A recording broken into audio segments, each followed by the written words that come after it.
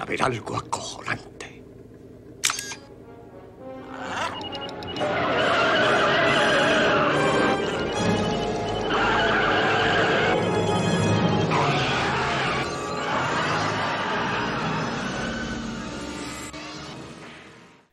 Mitsubishi Evo 10 de Avant Slot. Soy Jesús y estáis en Back to the Scalectry.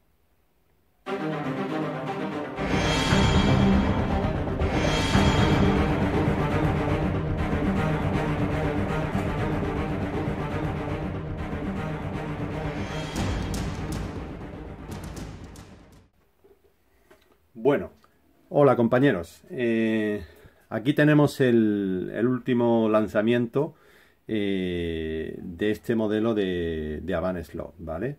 La reedición de este modelo con dos decoraciones distintas. En este caso, la que os muestro aquí es la de Golf. En mi caso pedí, pedí una de Repsol, pero bueno, eh, no vamos a entrar en, en, la polémica que ha generado la gestión de Avant Slot eh, a la hora de, repartir o de vender las decoraciones o el número de coches, depende de a quién, ¿no? Eh, yo tenía que haber recibido la de Resol y al final pues no, no llegó, no llegó, curiosamente no llegó y, bueno, eh, todavía no estaba en la tienda donde se había reservado esa decoración, que es la que me tenía que haber llegado a mí, y sin embargo ya estaban en la reventa en, al doble de su, de su precio curioso que todavía no, haya, no llegaran a las tiendas, pero bueno, eso es una gestión de esa empresa y no voy a entrar en eso. Creo que no, que no es lo correcto, pero bueno, eso ya cada uno gestiona su empresa como, como cree, ¿no? En fin, nos vamos a centrar en el, en el, en el coche en cuestión y os voy a hablar como, pues bueno, pues el análisis que le he hecho, el test que le he hecho y qué es lo que me parece este coche, ¿no? Y como viene lejos de, ya os digo, lejos de esa polémica que se ha generado a la hora de la venta de, los dos modelos que, han sido lanzados. Espero que en el siguiente lanzamiento de la nueva, de la nueva decoración de Repsol que tengan más cuidado, sean, en este caso, con, que lo hagan con, con eso, con, más delicadeza y, e intenten cubrir a, los clientes que, que verdaderamente quieren comprar una unidad y no quiere comprar cuatro o cinco para, para, para, enriquecerse y especular con ello, ¿no? Que es una pena porque estamos cuatro en este mundo del slot y me parece que, que en fin, que esa no, es, esa no es el camino, ¿no? Pero bueno, yo creo que hay mecanismos para poder controlar eso, solamente hay que, hay que, en fin, hay que ponerse a ello y, tenerlo claro, ¿no? Bueno, vamos al tema que nos concierne, ¿de acuerdo? Al, al conche cuestión. Bueno, eh, lo primero, la carrocería. La carrocería me parece genial. La carrocería está con mucho detalle. Es preciosa. La verdad es que le doy un 10. La carrocería le doy un 10. Pero le doy un 10 en todo. Porque es una carrocería que viene con sumo detalle en todo. Y además cumple el reglamento CRR de este año. O sea, lo ha clavado. Os voy a enseñar el peso que marca y, está justo clavado, clavado. Fijaros que aquí podéis ver que el peso declarado de la carrocería completa, sin hacerle absolutamente nada, es de 20,5, 20,7 gramos. El máximo permitido en el el mínimo permitido en el reglamento, perdón, es de 20 gramos, con lo cual está perfecta. Le sobran esos 0,5, 0,7 que vamos, que creo que no, no es significativo. Entonces, en esto yo les doy un 10. Por dentro, como, como veis, viene muy bien terminada, no tiene nada raro y ya he visto el peso que tiene, ¿no? En fin, que muy buena carrocería y muy conseguida con todos los detalles que, conlleva ¿no? el hacer una carrocería de este tipo. Los pilotos, todo, ¿no? El, muy bien, muy bien. O sea que a mí la carrocería me ha encantado, ¿de acuerdo? La de Resol, como no la he podido conseguir, pues al final no, no en fin, me imagino que estará igual y la deco por fuera, pues ya está, que cambia, ¿no? Tendremos más suerte la, próxima vez si lanzan, si ponen remedio a eso, pues lo mismo hasta me llega y tengo suerte. Si no, pues me quedaré sin él y, punto, ¿no? ¿Qué le vamos a hacer? Bueno, pues nos vamos a centrar en la mecánica ahora, ¿vale? Eh, la mecánica, lo siguiente. Tenemos una bancada, ¿vale? Una bancada que tiene un punto donde pivota adelante, ¿vale? Eh, muchos de vosotros las conoceréis. Yo tengo pocos coches de Avant. Tú, tuve, tú, tengo uno, un, un Subaru que, que, la verdad es que aquello no había manera de hacerlo andar. Y me costó mucho trabajo y entonces no sabía lo que me iba a encontrar aquí. La verdad es que han mejorado con respecto a ese. Desde mi punto de vista han mejorado bastante. Tiene este punto donde pivota, que lo único que tengo que decir es que después de haber estado rodando con él, eh, varios días haciendo rodada de 10 minutos, ¿vale? Aproximadamente, parando 10 minutos, en fin. Pues me he encontrado que al levantar esta pieza, que es donde pivota, justo el, perno ese que es circular y que se apoya en el chasis y luego se apoya en esta parte de arriba, pues había gastado el, el chasis, ¿vale? Había hecho una mella en el propio chasis y ¿qué pasaba? Pues pasaba lo siguiente, que al hacer la mella en el chasis, pues la bancada bajaba, ¿vale? Y sobresalía un milímetro por aquí o menos de un milímetro. Entonces, he tenido que repararlo, he tenido que levantar toda esta zona y echar un par de gotas de los tites, dejar que se seque dos o tres días y de esa forma lo, he vuelto a dejar plano, lo he elevado un pelín, he hecho una mueca sobre el tites y entonces pues ahora sí ya la tengo, ya la tengo a ras, ¿vale? Ya sí la tengo otra vez a ras de nuevo. Y, y nada, eh, para que no os pase eso, ¿de acuerdo?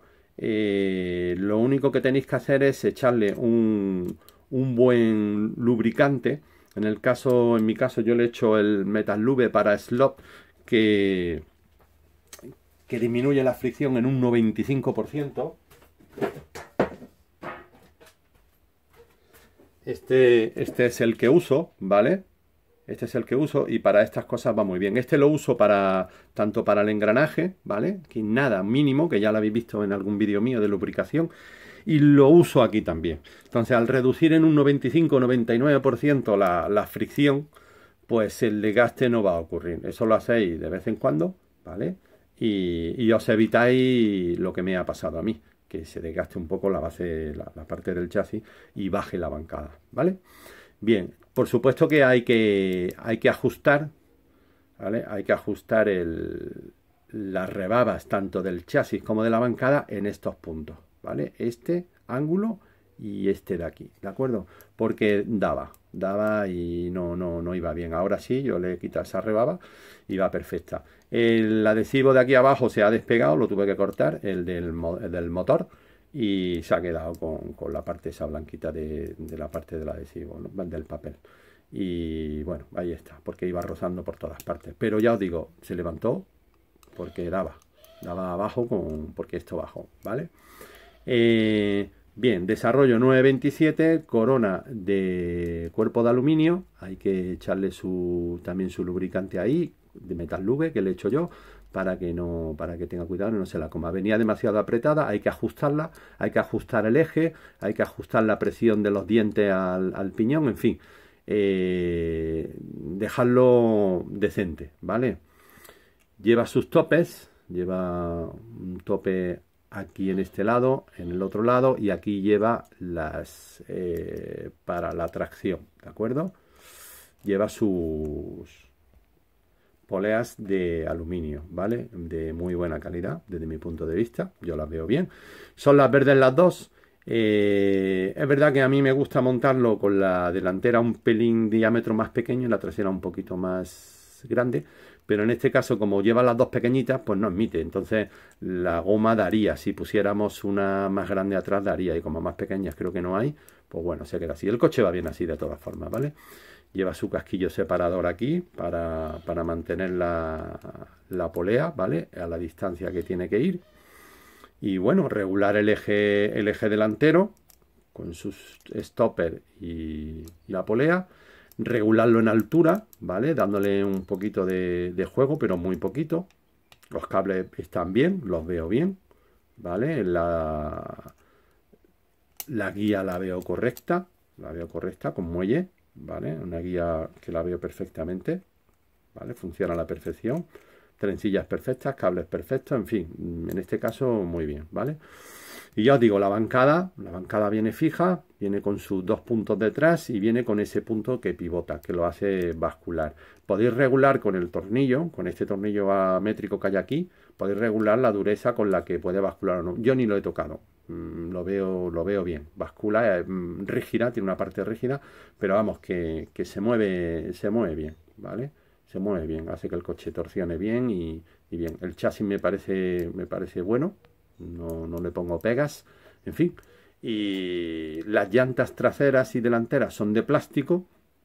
Hombre, por el precio que tiene, la verdad es que mm, es verdad que hay coches por este precio que no llevan llantas calibradas, ¿no? Pero bueno, si hubiese agradecido que por lo menos las traseras hubiesen sido calibradas. Por lo menos mi unidad venían derechas, vienen derechas las de plástico, ¿vale?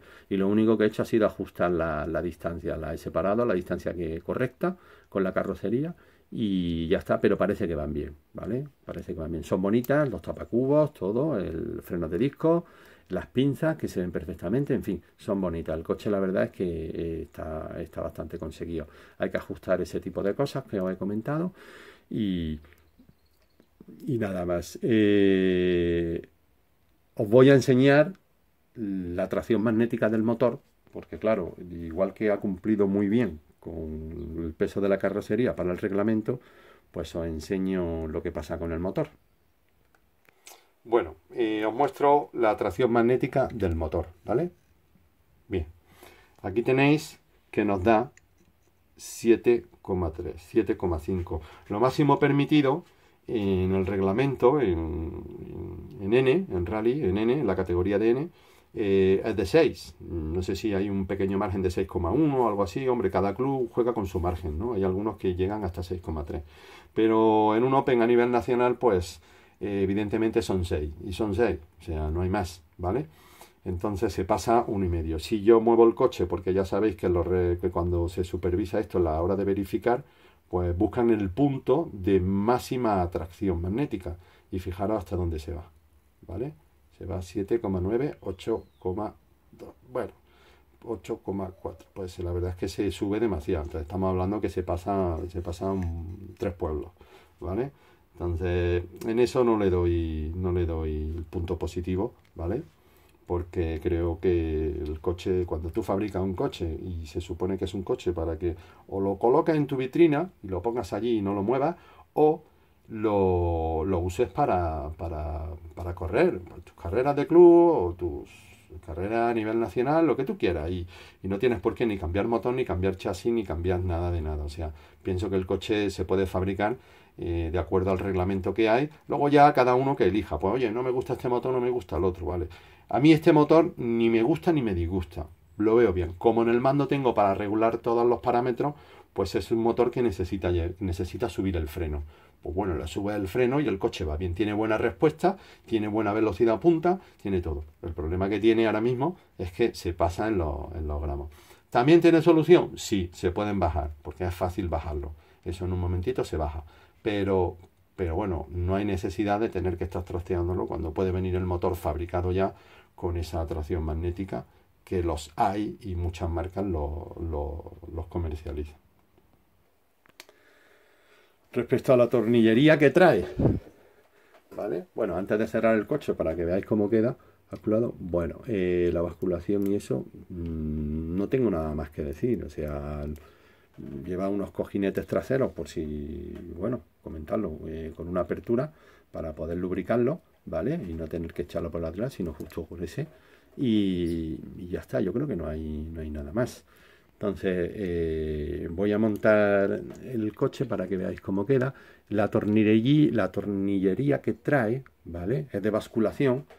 Es un poco corta. A ver si enfoca esto, ¿vale? Bien, ahí. Es un poco cortita, es de basculación, ¿de acuerdo? Pero yo le hubiese agradecido que llevara un milímetro más. Pero bueno, está bien. Hay que tener cuidado porque cuando lo desmontéis y lo montéis dos o tres veces, pues se va a quedar un poco suelto el tornillo. Yo lo que hago siempre es echarle un poquito, una gota de, pegamento y medio, ¿vale? Ahí, y con una agujita le reparto. Cada vez que noto que el, que el tornillo se queda demasiado suelto. Y así me evito perder ninguno en carrera, ¿vale? Eso es un truco que hago normalmente. Entonces lo voy a montar y yo lo, yo lo voy a enseñar, ¿vale? Bueno, aquí lo tenemos ya montado. Y, y bueno, mm, bascula de lujo. O sea, con esos tornillos bascula de lujo. Yo lo tengo al mínimo. Eh, si tuviese que competir apretaría un poquito más delante. ¿Vale? Detrás lo tendría bien. Pero el coche, el coche con esos tornillos de lujo. ¿Vale? No hace falta otro. Y además aprietan bastante bien teniendo cuidado con, con lo que os comento. ¿Vale? En fin, bueno, pues os muestro un poquito cómo va en el tramo. Eh, se me ha olvidado decir una cosa. La transmisión que trae, 927, eh, es algo ruidosa al principio, ¿vale? Hay que rodarla y aún así se suaviza, se suaviza bastante, pero no llega a ser silenciosa como otras transmisiones. Entonces, pues al principio, al principio choca, porque no te esperas que un coche de este tipo haga semejante ruido casi casi más que algunos coches de escalestris normales, con lo cual choca bastante. Pero bueno, luego va rodando, la vas lubricando y es verdad que va suavizándose y al final tiene un sonido más agradable, más fino. ¿Vale? Bueno, os lo muestro en el tramo, compañero. Eh, nos vemos y saludos. Voltaje 12.0